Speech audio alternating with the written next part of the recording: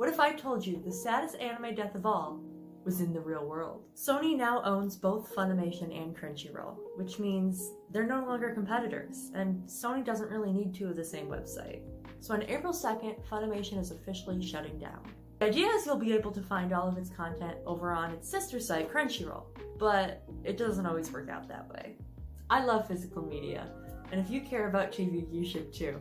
But the perk to buying this lovely combination DVD and Blu-ray copy of My Hero Academia 2 Heroes is that it came with this little sticker which informed the viewer that they could redeem a code online for a digital copy of the DVD they had just bought. These copies were supposed to stick around forever, but with the closing of Funimation, so too comes the death of all of your digital copies. Watch them before April 2nd, because when they're gone, you'll have to dig up your old DVD player.